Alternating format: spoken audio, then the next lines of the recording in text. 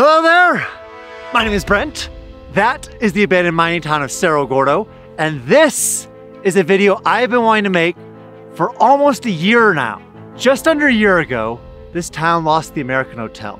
It was a beautiful building built 149 years ago that was the crown jewel of this entire place. And since then, rebuilding the American Hotel has become my obsession, my white whale, my thing I think about from sun up till sundown. And in the process of that, I've run into a lot of challenges. The biggest of which has been concrete. Turns out, getting concrete to 8,500 feet at the end of a seven and a half mile dirt road, hours from any supplier, is very difficult. But I am very happy to announce the concrete issue has been solved and the rebuilding of the American Hotel has officially begun.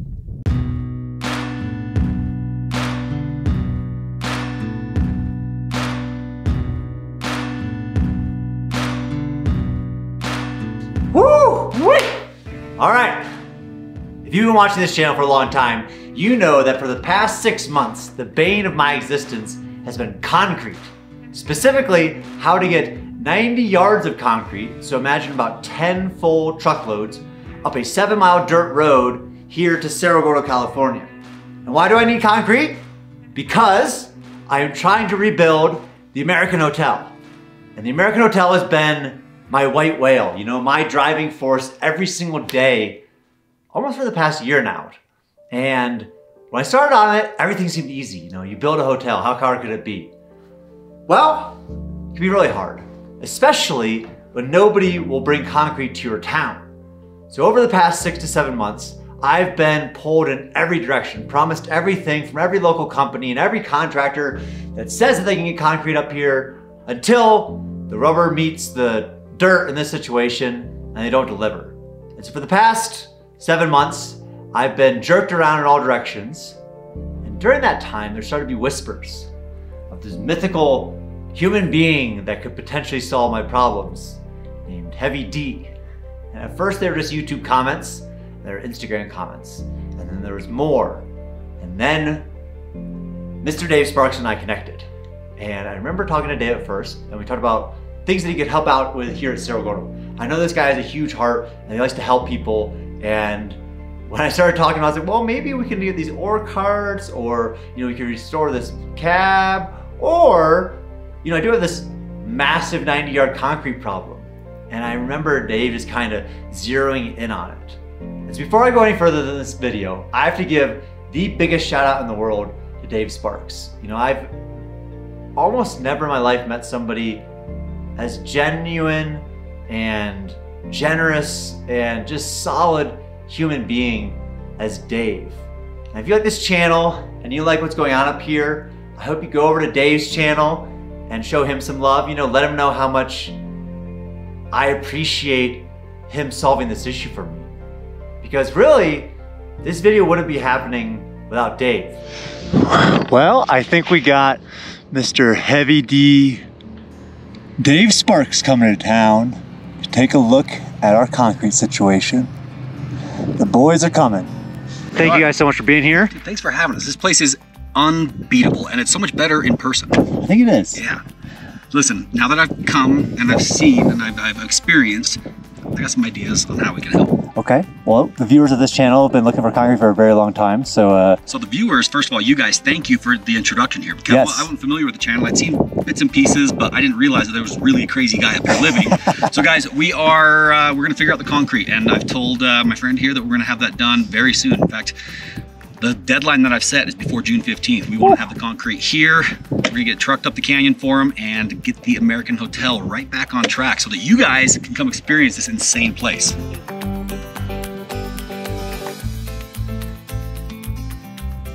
Here they come. Just a few days ago, a National Guard worth of machinery showed up at the bottom of this hill, headed by Heavy D. Not only the biggest equipment I've ever seen at Cerro Gordo, but some of the biggest equipment I've seen anywhere. We had an excavator, we have a loader here, we have two military trucks, there's a camper van, there's a skid steer, there's a couple flatbeds, a lowboy, all sorts of stuff all to help out Cerro Gordo. And it's just it's it's almost overwhelming, you know, the amount of support that Dave's shown for this for this town. And he arrived with the intention of pouring concrete. And I worked every day up until his arrival to get ready to pour concrete. If you look down at the hotel site, you will see the architect, rebar guy, engineer, and more because today the construction of the American Hotel finally begins. I'm bringing this down to start digging in some of the footings. Progress on the American Hotel is finally about to begin. The American Hotel was originally built in 1871. It was a dream of this Englishman named John Simpson and his wife. And when it opened, the hotel was known as the finest hotel east of the Sierras. It hosted all sorts of esteemed guests from all over the country, a who's who of Western mining history. There's even stories of Butch Cassidy hiding out there for a while. And I wonder often about all the struggles Simpson went through building that hotel. You know, he didn't have big excavators or backhoes or five ton trucks to help get things up the mountain. He had mules and manpower. You know, he was dealing with a town that had no laws, a murder per week, and every type of corruption. But he still pulled it off. You know, he opened a hotel on the top of a mountain in the middle of a mining town. You know, I can only imagine how excited and proud he must have been to announce the hotel's opening in 1871. And I don't think he could have imagined that 150 years later, that hotel would be known to millions of people all over the world, or that there would be this monumental task of rebuilding it with the hopes of that hotel's legacy living on for hundreds of more years.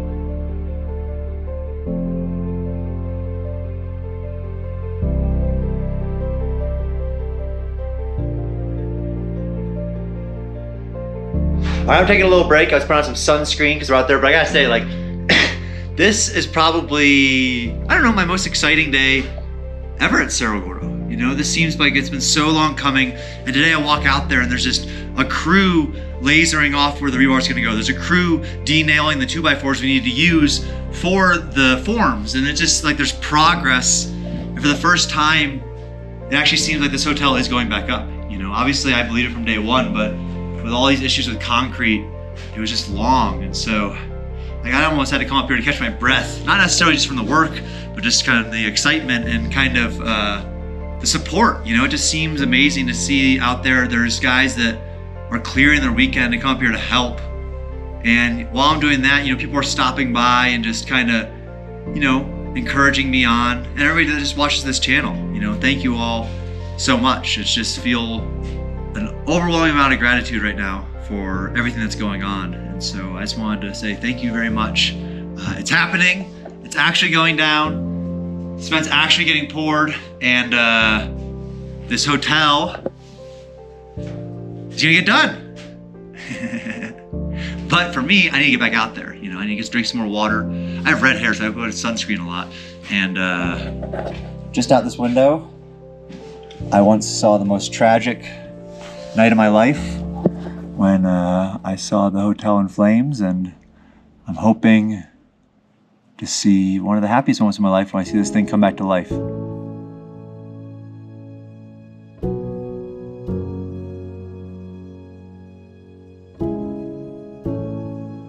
Losing the American Hotel was probably the hardest day of my life. You know, it's difficult to even recount it almost a year later. You know, I remember sitting right here just distraught at, you know, what I had just seen. Because it's almost impossible to describe what it's like to see your hopes, your dreams, your life savings, the centerpiece of this place you love so much go up in flames. I was very aware even in the moment that history was being lost. You know, this store is a great time capsule of the different history around Cerro Gordo, but the hotel was history itself. You know, that's something that can never be replaced. And all that weight was just hitting me. I remember as I was sitting there, just feeling the most useless I've ever felt in my life when I was just trying to throw five gallon buckets on a flame that was 50 feet tall. I just remember crying, not believing that was even happening. I remember pinching myself and just wondering why. And you know, your mind jumps to all sorts of things. Maybe it was somebody did this to me, or, or what could have gone differently. And I heard the first few days after the fire, I didn't really want to be here, but I didn't want to be anywhere else. And I remember for me, there was a turning point. I remember in the morning just being totally exhausted, distraught, looking at the flames still smoldering in the embers. And the owner of Cerro Gordo came up here, you know, and he was both the only and the last person I wanted to see. You know, I felt in some way I'd let him down and then he was coming up to yell at me or lecture me in different ways. And I remember he came and he put his, uh, it's a difficult moment for me to even recount, you know, a year later. He came, he put his hand on my shoulder and when I was expecting him to yell, he just said, this is what's supposed to happen, you know, for better or worse. This is what it is. This wasn't your fault, you know, but it's up to you what happens next. And those words really rung true to me in the moment. You know, it was like, what happens from here is on me. And I internalized that as what I had to do. You know, I've spent the last 12 months thinking, focusing, almost obsessing on the American Hotel every day since then. You know, though I only work on other projects when I can't be working on the hotel. It just became much more than me. You know, it wasn't just about my experience here, it was about the people who have been here before's experience here and the people that will come here afterward, their experience here. And so for me, there wasn't a question of whether the hotel was gonna go back up. It was just what I could do to get it done. And all along the way over the past 12 months, there's been roadblocks from vendors, county, partners, all sorts of things that have made this more difficult, but we're almost there.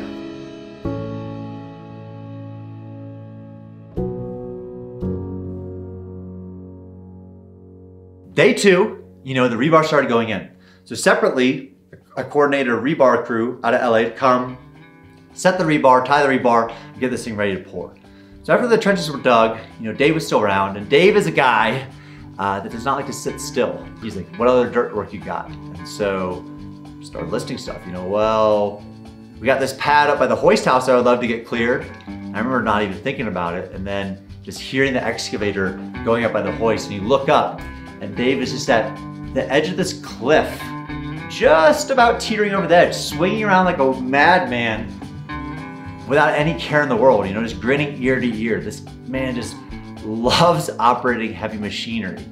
And he cleaned up that, and then we came back down and said, what else we got? And then we got into a little bit of exploration. So, well, you know, since you're here, there are these mine shafts that I would love to get into. And if you've been watching this channel for a while, you know that getting into mines is really important to me. You know, it's probably one of my favorite things to do, not just because of the adventure end of it, but because of the history attached. You know, to me, exploring mines is better understanding Cerro Gordo's history. You know, it's piecing together context to items, and context is so important. So like right here, this is an old blasting room door. So back in the day, they used to use dynamite to open up all the mines. This door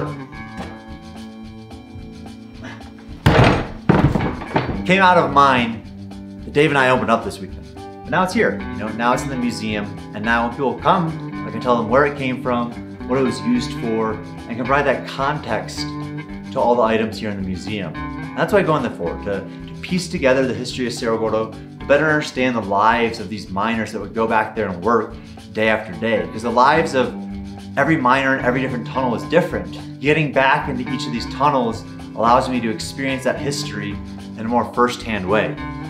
So when Dave started wanting to dig into mines, I mean, obviously I was game. Know, it's something that I, I love to do. I spent six months trying to dig into the Omega Tunnel here at Cerro Gordo. So when he said point, I started pointing. And then there's this little cribbing or like old rock below the new town line. So below the shaft that I had descended down into, I remember looking down and there was some cribbing and it was obvious that once upon a time they were bringing ore out of the mountain. But these days, it pretty much just looked like mountain. You know, outside of the track sticking out, you could have just walked right by it and never knew. And I was like, you know what? I think there's one down there, but I remember telling Dave, you know, I just don't think you can get to it because the terrain to get there is just steep, side hill, shale, hard to get to even on a dirt bike, much less an 80,000 pound excavator or something crazy like this. I thought David kind of, you know, decided against it. And then maybe an hour passed, I was like, you know, where's Dave? And I started thinking, I was like, I bet he's back at that mine. Sure enough, I get there's a time seeing Dave turn on the excavator, smiling like a madman, just caked in dust. You know, the dustiest human being I've ever seen in my life, just having the time of his life. I remember he's looking at me and be like, we're close. This is a thing that an hour ago just looked like a wall of sand. Now it's an open mine shaft. What are you thinking? How you feeling? I'm feeling great. You're looking great. You're looking a little dusty. I'm feeling adventurous and dusty. All right, so I tried to fill people in. Well, first of all, it started off as we almost didn't dig here.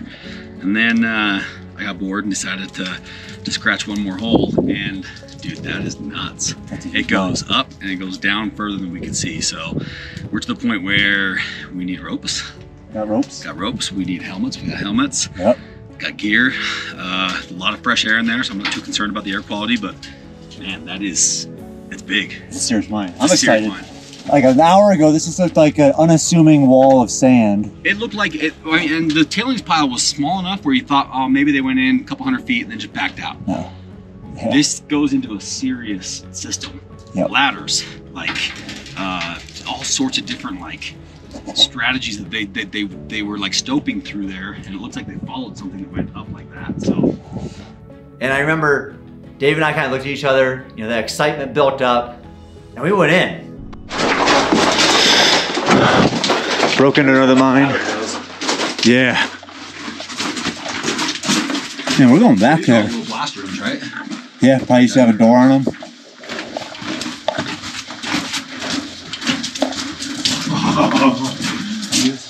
Dude, you got a lot of exploring to do down that way. No, I see that. I think I'm gonna doing the harness rope Yeah, just because I don't want to trust that ladder it's a 40 50 feet. feet, Yeah. probably of rickety ladder. Okay. Um, they've done a good job shoring it up, Yeah. like a lot of this stuff. Yep. But uh, I'm pretty sure it goes down, cuts left, and there's another level down there. There's just there's veins of stuff all through here. Yeah. Oh yeah, there's some galena right here. So this is what they're mining. That's galena for sure. So that like silver. Yeah, that's what I'm saying. That's the big vein right there. Yes, that's silver lead. That's what they're mining. Should I tell Bud to get a pick? Yeah, tell Bud to get a pick. Oh yeah, it opened. It opens up up there. Yeah. And I see ladders up here too. Oh damn. The fun continues. Rock climbing. Mm-hmm. All right.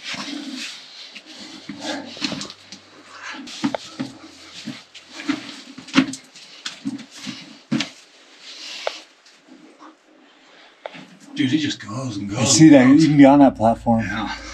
Who the sh- had to climb this on basis? And what did they block off right there? I'm wondering if they had like a ladder. You know, it's rotted out or something.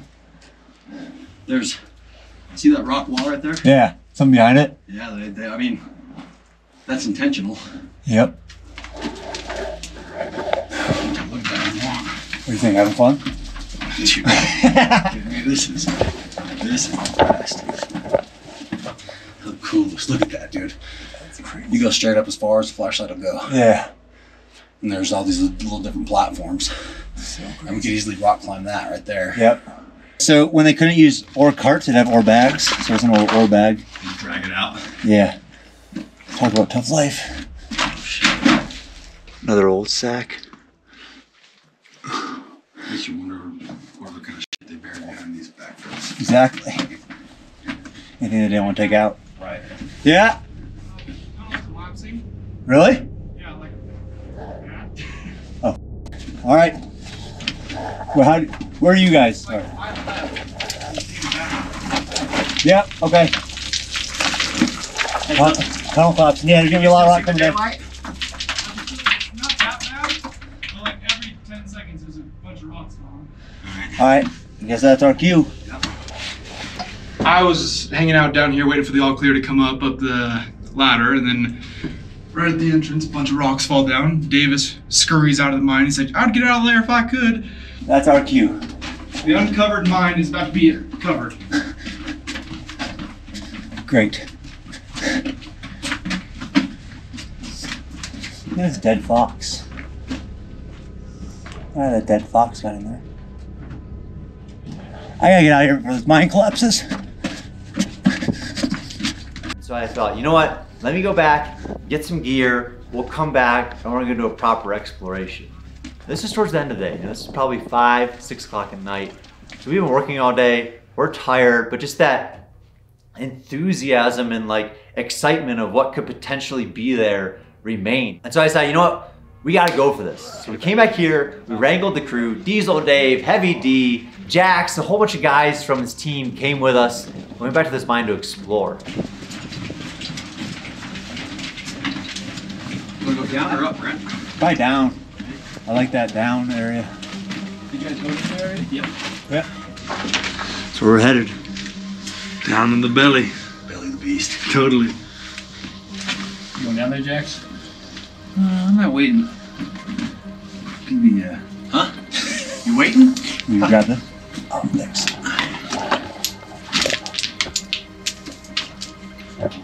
Man, how far down is that, you think? I think that ladder goes down from the vertical ladder down there. Uh-huh. At the end of this one goes probably 50 feet or so. Oh,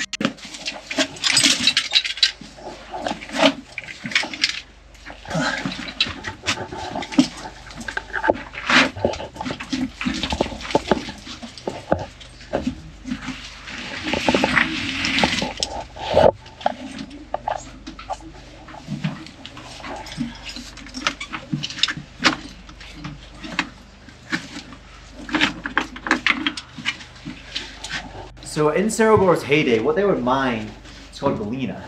It kind of looks like this. And so what it is, it's a silver lead ore. So it's very heavy when you see it, but it's also very sparkly. And so as we were going down the shaft, you could just see the veins that they left behind. You know, they're obviously following this body of ore that looked kind of like this. But in the time, they didn't have the tools or the patience to carve out little sections if they were hauling out tons and tons of this stuff. And so that made me think, you know, this was a serious mine back in. What do they do with? Just make they get the silver out of it. Yeah, they can melt the silver and the lead, and then uh, that's the main thing they were mining at Cerro Gordo was this galena, exactly that stuff. This is pure as could be, right? That's what they call high grade. Yeah. Comfy? Easy. All right, so you see we're good to tie off to. I mean, there's just beams. I'm, are we gonna I'm trust? guessing the base of one of these timbers. Yeah. So did Davis and Alec not come down? Uh, Alex, well, we got the GoPro. We won't have them come any further than a couple of Jesus.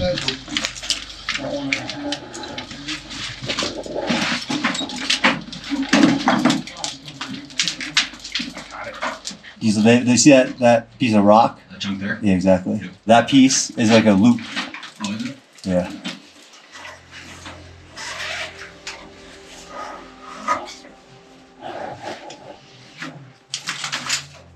Nice.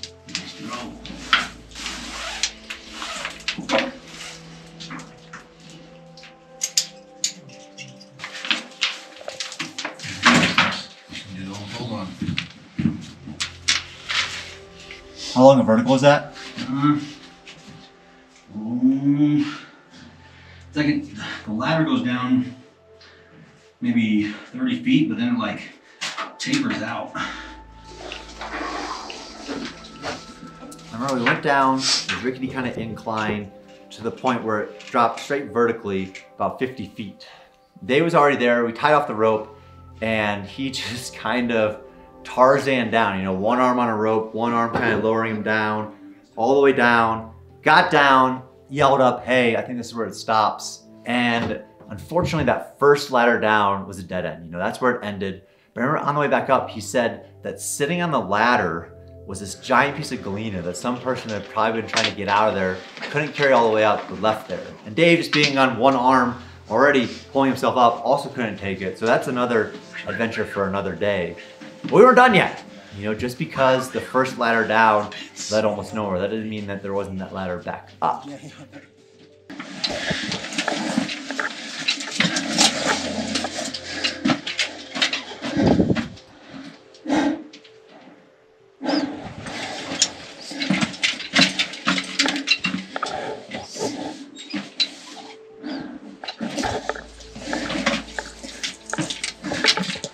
I remember on my way up, he said, Hey, I think there's an exit to the outside. I've been at Cerro Gordo for a very long time. I've explored these hills extensively. And if there's an exit to the outside of a mine, I've been into that mine. Or so I thought. And I got up the top, and sure enough, take a left, take another left, you're outside again. Ha!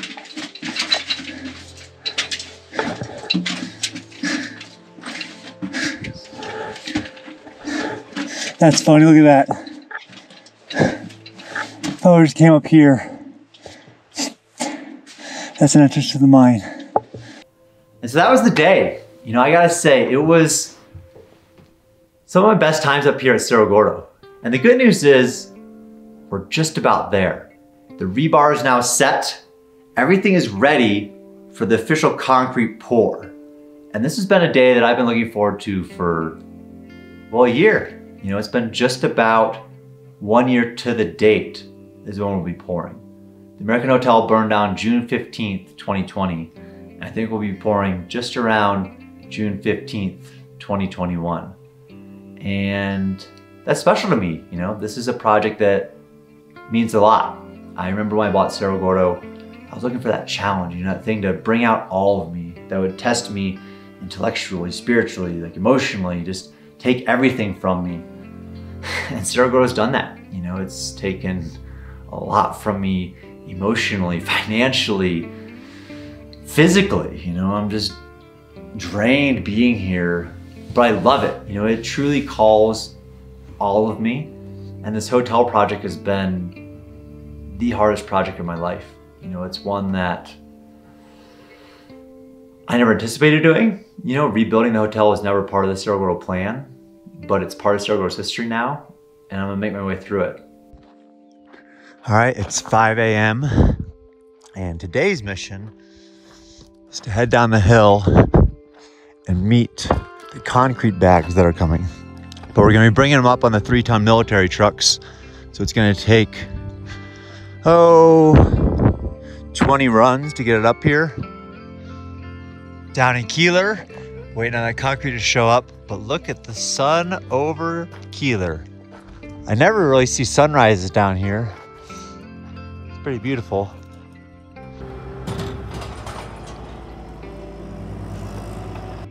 All right, so they're up with the very first load of concrete bags. It's game day. Today's the day. Just after five o'clock in the morning. I gotta go down to meet the concrete rep for the final delivery. 9 a.m. Inspector arrives. Hopefully he gives us a thumbs up on this. And we pour right afterwards, and the construction of the American Hotel officially begins. You know, to get the concrete done up here, this is where we ended up. Dave brought up a massive concrete mixer truck. This thing had like eight wheels on it, or 16 wheels, or something crazy. And what we used were Quikrete super sacks. So these are nylon sacks that hold an entire yard of concrete. They're 3,000 pounds each, and we had 80 of them. So whatever 80 times 3,000 is, what 240,000 pounds of concrete had to be moved from Keeler up here. And then we had them sitting there, and then to make actual concrete, you need water. And so the system that we ended up going with is we had 250 gallon cubes that we would hoist up with the excavator, position perfectly over the concrete truck, empty into the concrete truck. Then, after one of those was in, we would go over, grab one of these nylon sacks, these 3,000 pound bags of concrete, lift that up with the excavator, position that perfectly over the concrete truck, and then underneath it, there's a little spout that's held by a little bit of twine. So you undo that, concrete starts rushing out, just getting anybody in the way extraordinarily dusty. That goes into the truck, more water, mix it up, and then you can kind of take this truck, bring it over to the work site, position it over the footings, and pour.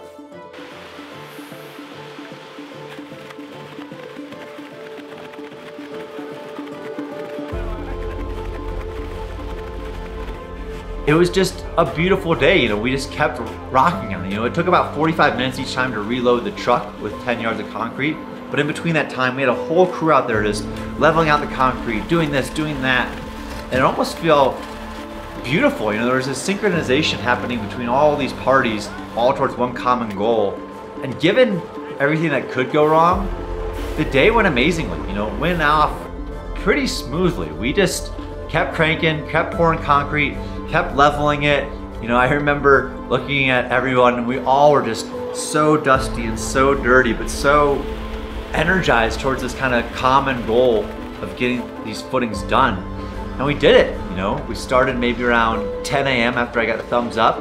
And then around 9 p.m. as the sun was setting, it, we were just getting down to it and we finished. You know, we pulled it off.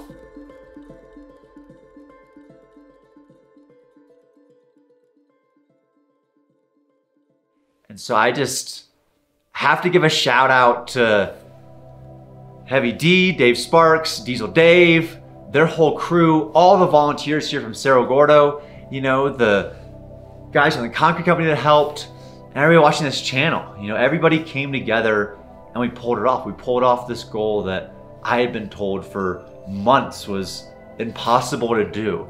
And it just makes me so excited, not just about what was done, but what's to come, you know, Cerro Gordo's future. I, I think this was the first piece that needed to fall into place. And I just hope this momentum carries over into the rest of this construction project and we can just get this hotel rebuilt. You know, it's energized me.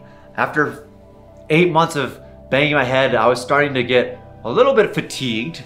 Uh, it might be showing, but I'm pumped up again. I'm ready to go. I'm ready to keep this project going, get this hotel back online, and hopefully have a lot of you guys come up here and stay in it. You know, it's it's it was truly a monumental day in Cerro Gordo's history. You know, this is the most concrete that's ever been poured at Cerro Gordo, and it's going towards the rebuilding of a hotel that I hope stands for hundreds of years. And so it wasn't lost on me, you know, the importance of this day, not just in my life, but hopefully in the history of Cerro Gordo, was big to me. You know, it was a day that I really enjoyed, and uh, I think it's one of the most rewarding days of my entire life.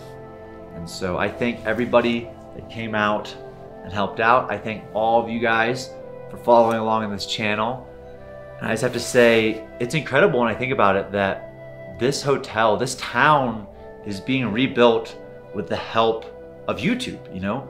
It's interesting if you think about the timeline over a long enough period, Cerro Gordo's history will have to include a chapter about this channel, about YouTube, you know, and how all of you guys helped rally together to rebuild this town. I think that's cool. You know, there's something really intriguing about that. And so I just want to say thank you all so, so much. You are playing a part in bringing this town back to life.